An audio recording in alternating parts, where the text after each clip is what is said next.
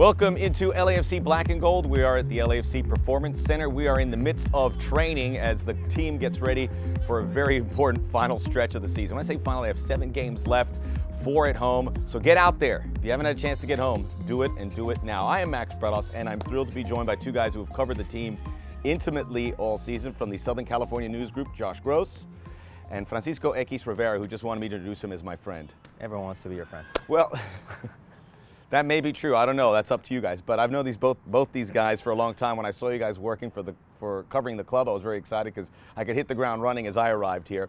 And we've seen it from the beginning, and it's been a fun season, Francisco. And I'll start with you as we, we look at where LAFC stands with these few games left.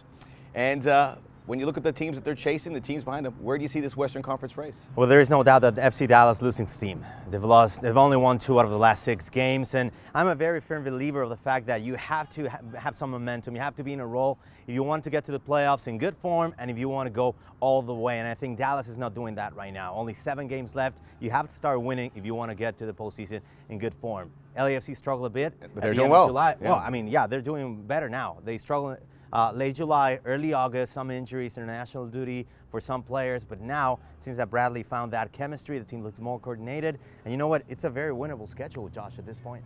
Yeah, no doubt about it. At the beginning, you want to make the playoffs. Now LAFC's probably got some aspirations to finish as high as they can. So how, high- how high could that be?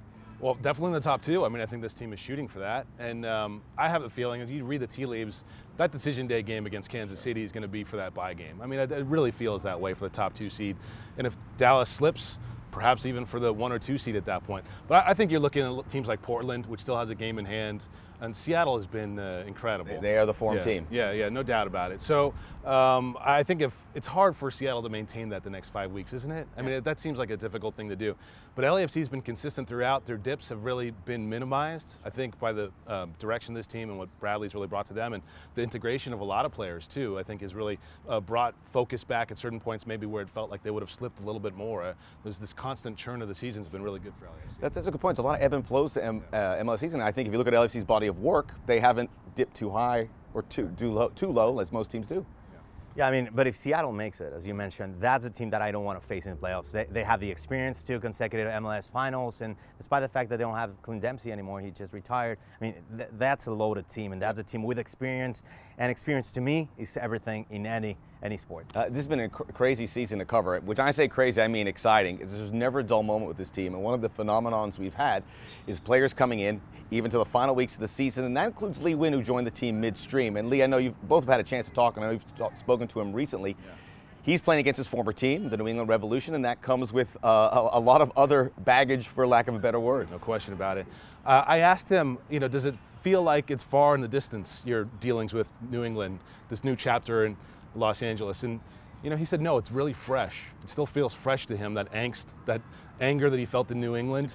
And, um, you know, a lot of players sort of will let it go with a little time and distance, some success in another place, but Lee Lee seems to be holding on to that. And, uh, you know, so the bottom line for him, the only thing that matters on Saturday is three points. Three points settles everything for him. That it really answers all cleans the the slate, questions. really. It really does everything that he hopes to accomplish on Saturday. He's been great. Yes. Uh, he has been one of the consistent guys over the last two months. Well, but um, it's it's not easy to make a positional change in your career. And never easy when you're 31 years old and when you have over 200 games under your belt. And you know what? When the need when the team needed a holding midfielder, he stepped up admirably. And you know, it's not only been a positional change, but it's been a mentality makeover. When you look at his body of work, I love to see him move all over the field, doing the dirty work in the trenches, recovering possession, doing anything he can to maintain a recovered possession. And it, it hasn't come free because you know he has three yellows uh, and another red card and maybe more that you know referees have been lenient on. But you know what? When you are playing alongside Benny Feilhaber, you need that fire and you need that intensity to match. Yeah, it'd be interesting to see him clear this hurdle. Uh, there have been LFC players in the past that played their former teams and had success, and you could see a little bit of a cathartic moment, I think you could say. All right, I'm gonna have let's have a little fun here. LAFC has had a lot of surprises. Most surprising player of the season, Josh, who is it? Uh, Adama Diomande, up and down. He came Yeah. out like a house on fire, right? We knew nothing about him. Right. No, no one knew anything about him except Bob Bradley, really. And he comes out and, and has this amazing goal scoring record. And then he kind of disappears, but he's always under the surface. You, for this team to get to the heights that they need to, need to to really advance in MLS Cup, you sort of think that they need that goal scorer, that guy who can pull something out of nothing. And he was that. He showed us that. But Is he that player, or is he the guy who's been handling his hamstring issues now for a while? I don't. The answer to that question, I think, may determine how far uh, LAFC goes. That's a nice ace up the sleeve and down the stretch run when Dio does reappear, and he will. Well, I didn't know much about Mark Anthony Kaye, to be honest with you. I saw this 23-year-old kid, no MLS experience. I'm like, why is he in the starting lineup? But then all of a sudden, he brings this joyful, cheeky, very fresh uh, style of play. And then it was just like seeing a 12-year-old playing against grown-ups in a professional soccer league, having the time of his life. And I really love seeing that from Mark Anthony Kaye. You know what? Early in the season, I approached him and I told him, uh, you look to me as a young Patrick Vieira. You know, tall, physically imposing player, but very classy, very skillful at the same time. Got to put a little bit of LB. He's got to put a little meat on them bones. Right, but when he played against New York City FC, yeah. what did he do? I mean, he played the game of his young career. He earned MLS Team of the Week honors, and uh, I think he, I had to ask the question. He did talk to Patrick Vieira, and Vieira said that he was impressed with his play. So, unfortunately, we're not going to see a lot from Mark Anthony Kaye in the next few months. He's out for the season. He can barely walk right now. He's recovering, but I'm very excited to see him develop into one of the best young midfielders in all of North America. Those are two great answers, so I'm not going to give one. But I would say uh, Diego Rossi, I thought he was to be good, but not this good, has been a bit of a surprise. Francisco, Josh, that was great. My friends, Let's do it again soon and let's have a little bit of fun uh, in the running here for LAFC starting this weekend. Much more LAFC black and gold after this. Talk about Bob Bradley next.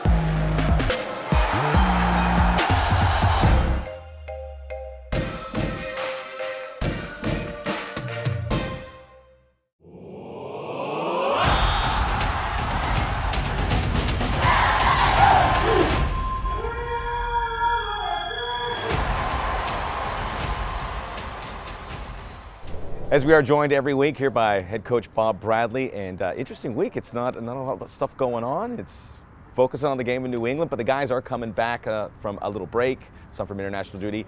What's the keys to hit the ground running to get ready for the game?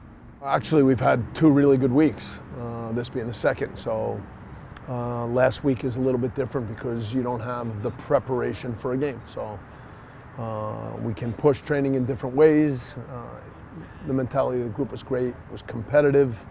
Uh, in different moments when we were keeping score, one team would win the first game, another team would win the second game. We had golden goal to determine the winner. Uh, so they were they were on fire with just their attitudes and the way we worked. Uh, we start this week trying to build on that, and then step by step, we of course focus on New England. I know they're probably eager to get on the field, and a lot of people are eager to see LAFC here at home again. And uh, there was that international break, and what stood out certainly is Andre Horta scoring a goal for the Portugal under 21s in a qualifier, uh, a game winner against uh, Wales.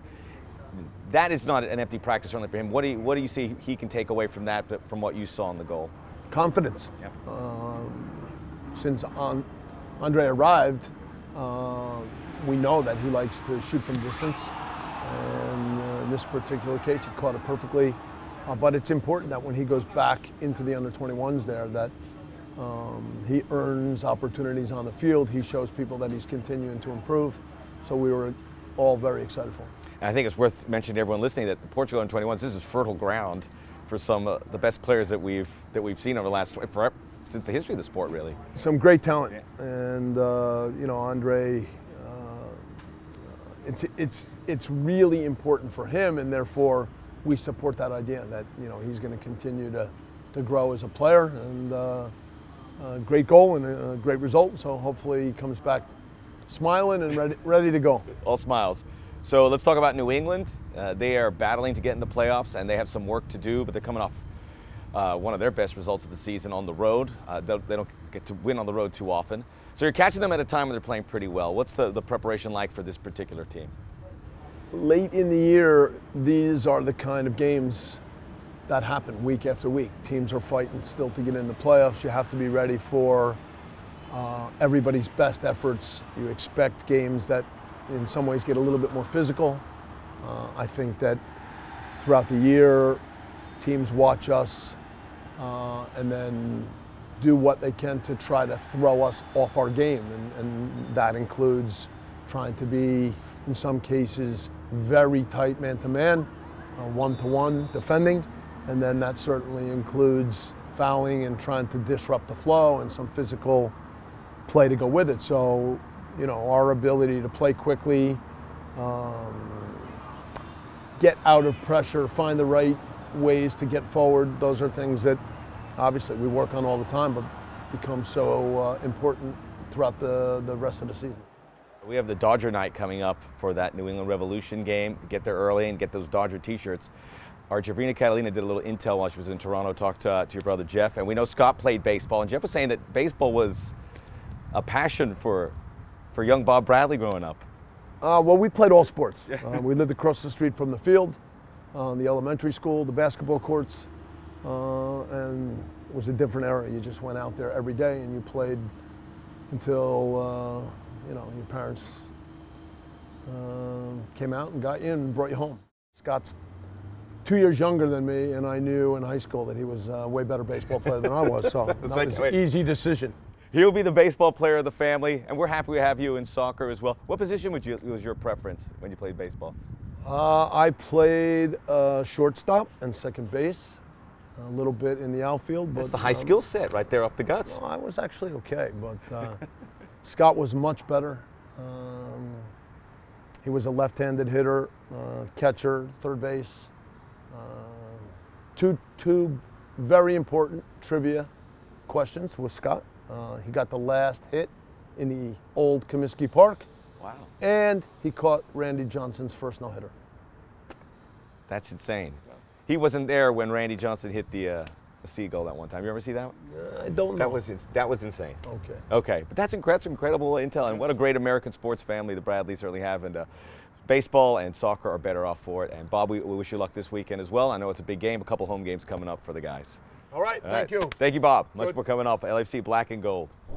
Welcome back to the LAFC Black and Gold Show. We're here at the Performance Center, getting ready for the game against the Revolution, and there's no doubt about it. You don't have to have me say it. Latif Blessing is loved by this club. He is part of the family. You can hear it every time he comes into a game. He's, we're the family here. He has a family back in Ghana. It's been an incredible journey for him to get from there to here we have cameras taking a closer look at that journey and where he came from and the huge burden that he has to put on his shoulders to make it as a professional soccer player. Here's a quick look at a feature that will be appearing on YouTube TV.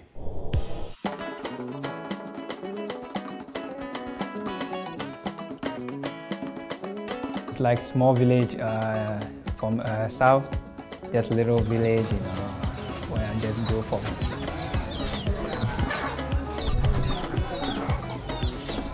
Grew up, you know, like poor family, you know, so like I started playing football. You know, people just encourage me, hey Latif, you need to work hard, you know, because if you are playing hard, you will be the star for uh, this village. So I just hey, I'm gonna make it. So you gotta pray for me, you know. So everybody was happy to me making big star right now. So everybody was happy, you know.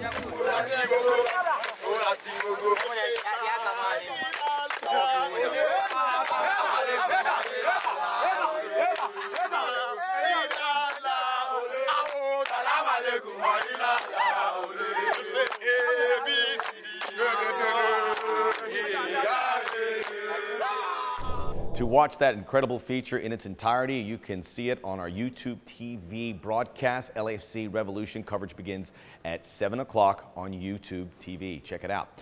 We also remember Latif from those uh, Metro commercials, one of my favorite things to see. And it is Metro Night on Saturday night, and fans will be receiving a limited edition LAFC black and gold preloaded tap card so you can get around town. Gates open at 6. They'll be available then. They are under a limited supply, so get there early. It's also Dodger night. There's going to be a lot of cool stuff happening on Saturday.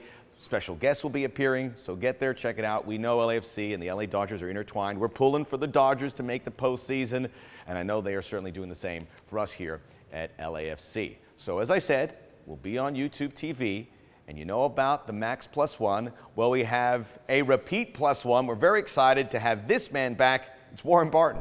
Trevino, thank you very much. And uh, Warren Barton, uh, after calling the World Cup, welcome to the big time, calling LAFC. Congratulations, you did it. Thank you very much. Yeah, I'm looking forward to it. He's never, he's never been good at jokes. You're gonna get- never good at Get yourself in jokes. trouble. and you got to work with me before. We're picking up the That's why I've got the grey hair, my friend. I've got a twist. I'm just, you know what I want? A cat. I haven't got one yet. I'm going to go and get my cat. You know what? Just in time. Good Yeah.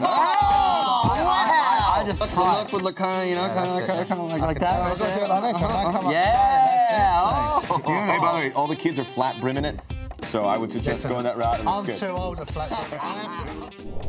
Look forward to catching up with Warren. He's always a good time in the broadcast booth.